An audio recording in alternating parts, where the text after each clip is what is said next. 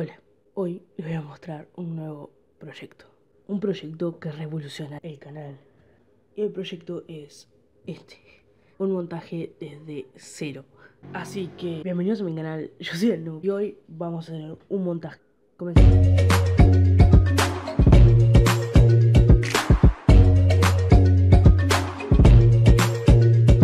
Como principal, comenzamos con el unboxing o desempaquetado del 8400 GS. Esta la puse en la caja de la Nvidia GeForce GT 730 debido a que no tenía ninguna bolsa antiestática ni nada y la puse ahí adentro para abrirla en este momento y decir que tenía caja, aunque no la tiene. Es el Core 2 Duo E7200, procesador que tenía antiguamente mi PC. Spoiler para próximos videos. Como ven, también personalicé el cooler, como en el caso de mi PC. Lo pinté de color violeta y quedó mucho más lindo. Las RAM son las que tenía antiguamente mi PC. 4 GB, 667 MHz, ADDR la placa madre es una placa madre Intel, mejor dicho, era porque a la hora de prenderla me di cuenta que la había quemado. Y en ese momento Cell sintió el verdadero terror.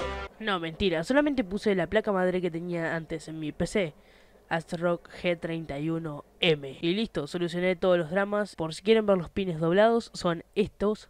Y básicamente este es el resultado del ensamble. Sí, esto es todo el video. Si quieren ver las pruebas de rendimiento, no se pierdan el video próximo. Nos vemos. Chao.